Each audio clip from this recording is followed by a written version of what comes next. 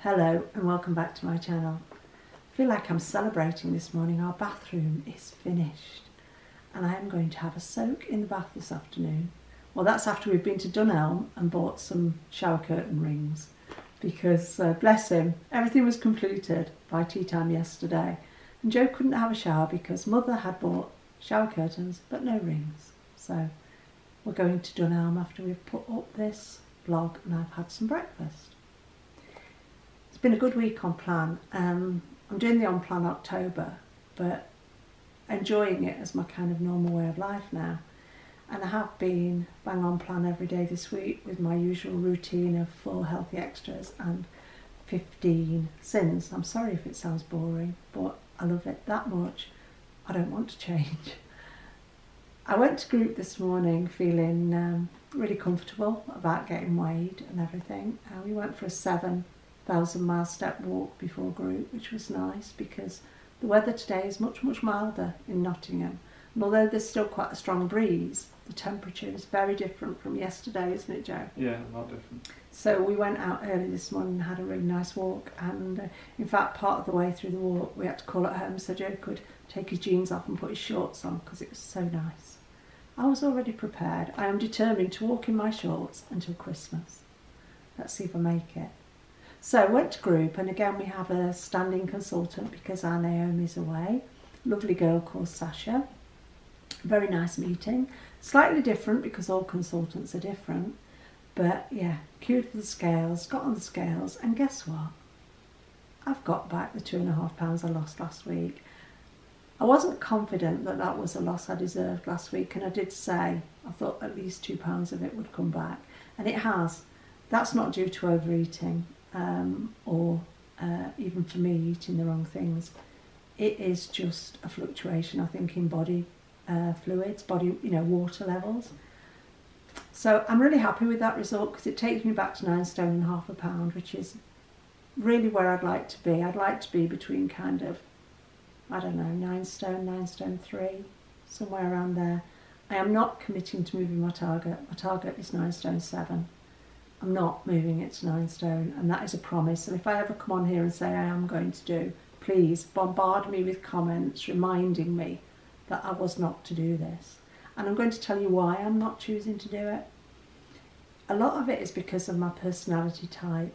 I am stubborn, and uh, I also don't live well with rules, hard and fast rules. And I know for myself that if I set my target, wherever I set my target, I'm always going to want to live at the bottom end of it.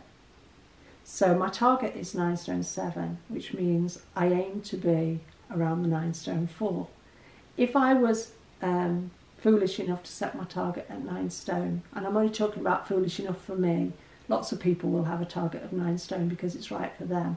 But if I set my target at 9 stone, in my head, I would want to be 8 stone 11, and that is not a good place for me to be. My BMI is just about where I want it to be, around 9 stone 1.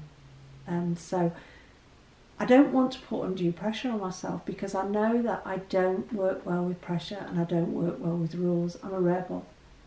So if somebody tells me I've got to stay between, like in my case at the moment, 9 stone 4 and 9 stone 10, there's something inside me that wants to be at the bottom. And when I'm at the bottom of that, I can fall out the bottom. What I want to do and what I'm happy to do is say, I want to live between kind of nine stone, nine stone three. If I move my target to nine stone, that's going to be the top end of my target. And I wouldn't want to be in the top end of my target because it puts pressure on me not to go out of the top. So what I've decided to do is stick where I am, around where I am now, and pay for group might not be right to call myself a target member anymore. I'm, I'm not worried about that. What's in a word?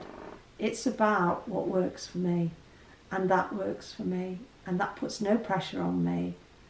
And five pound a week, it's worth every penny, and a lot more. So I'm going to do that. Wanted to bring to you today one or two things that I either enjoy or that I am planning to enjoy. Uh, the first thing is the new beetroot Ryvita crackers. Is that ink shot? Yeah, perfect. Perfect. Oh, I'm getting good at this.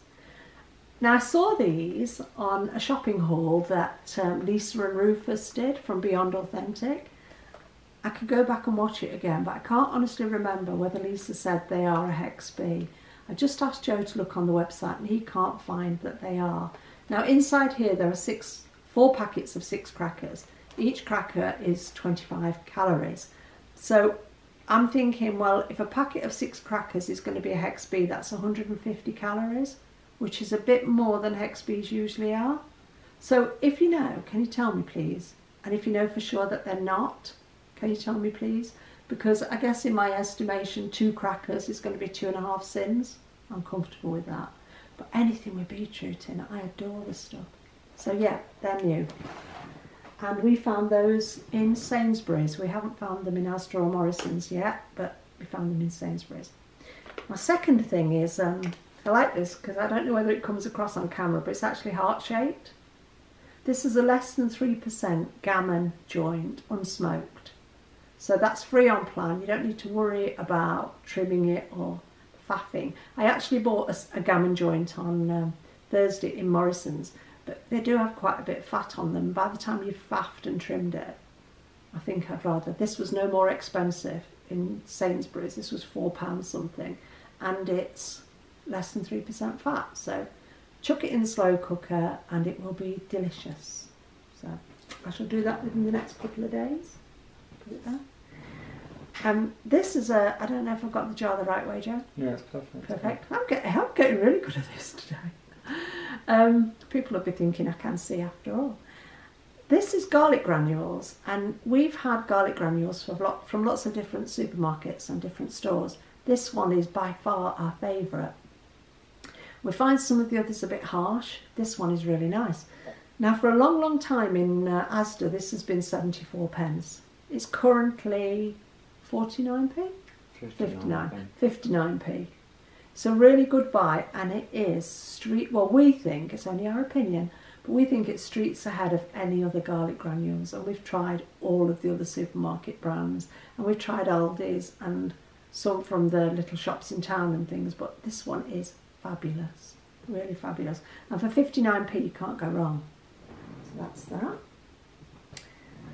I'm always on the lookout for new fruit and new veg and especially speed fruit or veg. And Joe found this yesterday. Wrong way up. Oh. Yeah. Joe found this yesterday in Sainsbury's and it is sweet stemmed cauliflower.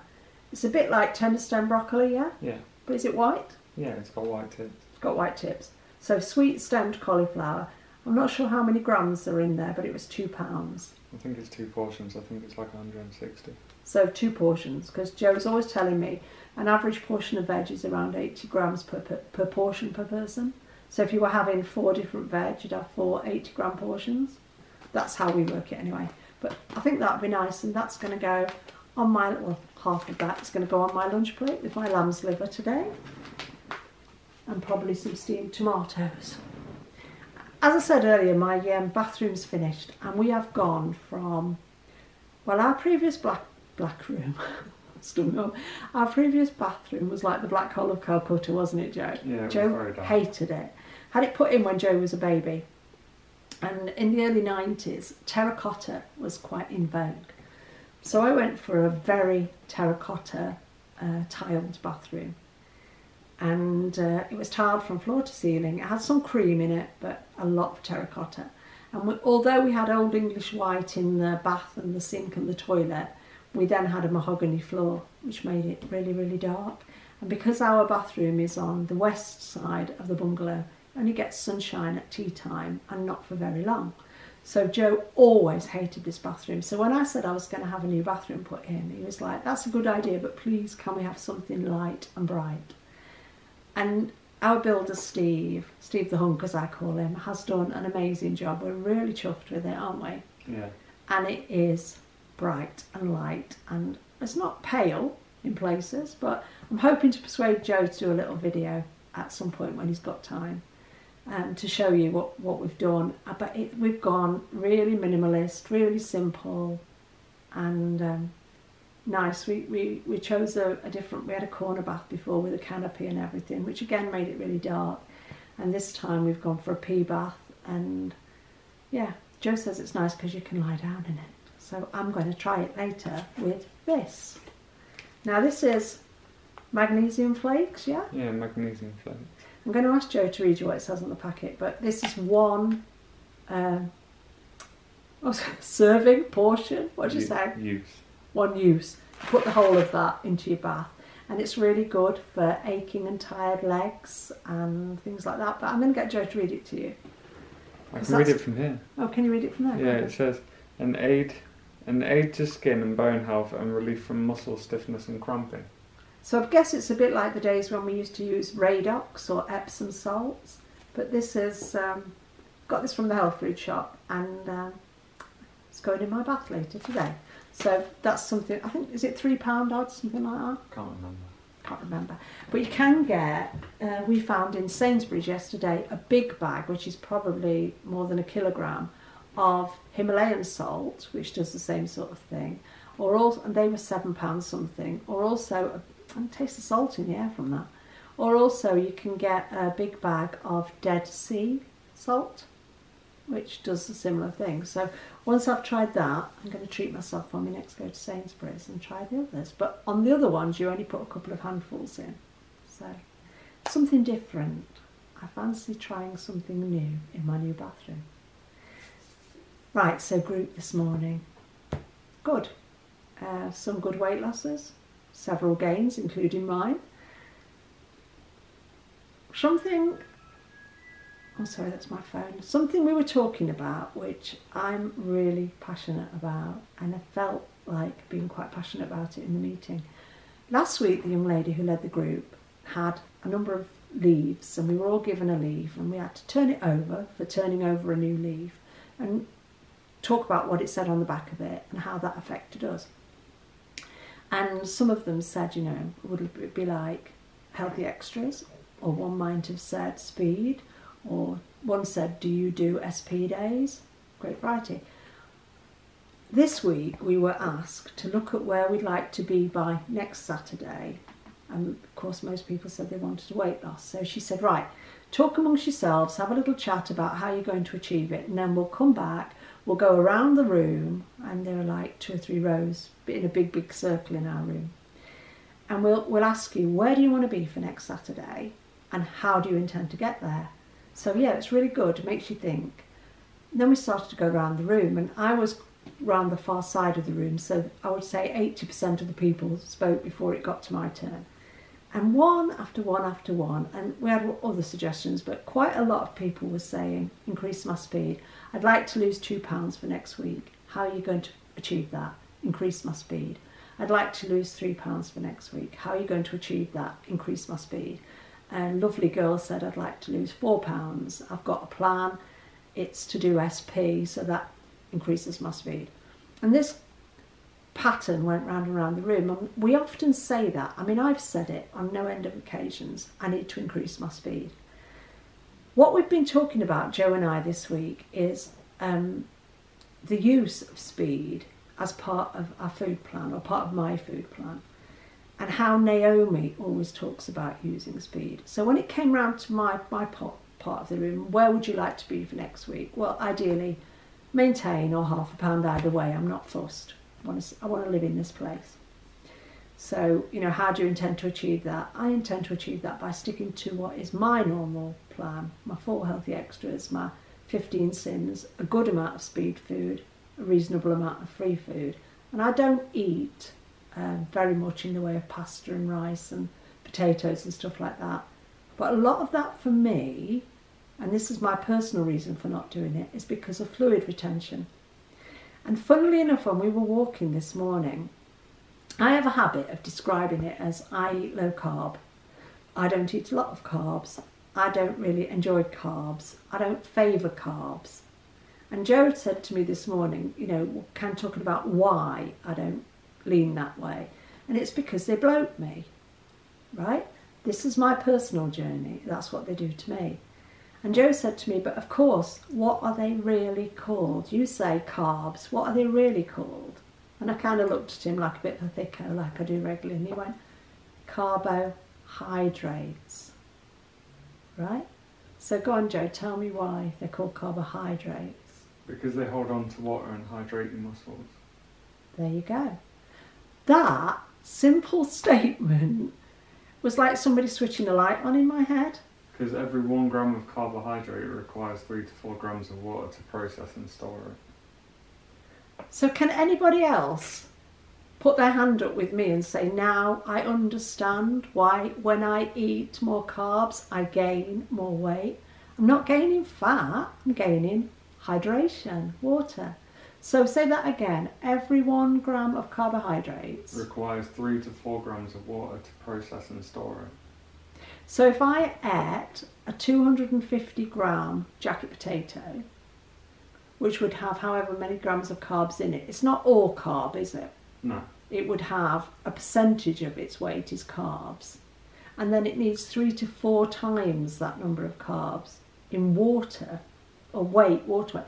And this is like a revelation to me because all of my adult life on this weight loss journey, I've battled with carbohydrates, or carbs as I call them.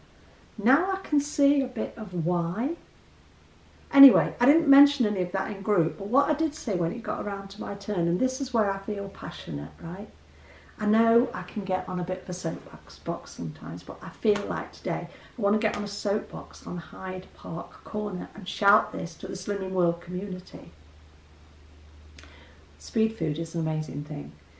I love cauliflower, cabbage, carrots, um, fruits, apples, pears, plums. At the moment, we are eating blue whale plums and Angelina plums from Sainsbury's, and oh my god, they're delicious. They're speed. I also like blueberries, but I don't eat them every day the way I eat speed fruit every day. I tend to personally eat free fruit at weekends because that's when I've just got weighed. So like I'll eat mango on a Saturday and Sunday. I'd eat blueberries at weekends, very occasionally in the early part of the week, but I manage it so that the majority of my fruit is speed fruit. Fortunately, the majority of the fruits I really enjoy, apart from mango and blueberries, are speed fruits. What I've realised when we sit in group time after time after time, and we've all said it, when I say we've all said, I've said it so many times, increase my speed. It's not as simple as eating more speed. Speed isn't a magic wand. It isn't the solution in isolation. The way that speed works for me today, and the way Naomi explains it really well in our group, is to improve the food on your plate and to reduce the calorie count of the food on your plate, you remove one third and you replace it with speed. Now, in group this morning, everybody was saying increase my speed, add more speed, put speed at the side of my plate, and all this lot. That's not what Slimming World tells us to do. It tells us to reduce the free food, reduce the meat, the chicken, and that, that pea food. Reduce all that and replace that amount we've taken out with speed.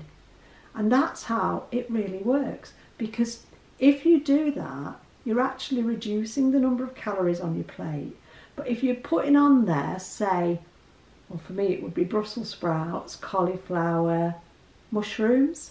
I'm like, I'm starting to really enjoy mushrooms. If I'm putting them on there and I'm replacing the higher calorie stuff with that.